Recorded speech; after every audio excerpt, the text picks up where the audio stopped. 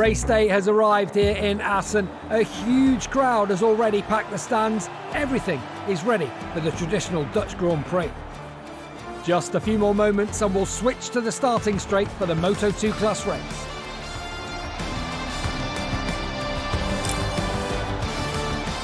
The cameras take us to the starting grid, where riders and engineers are discussing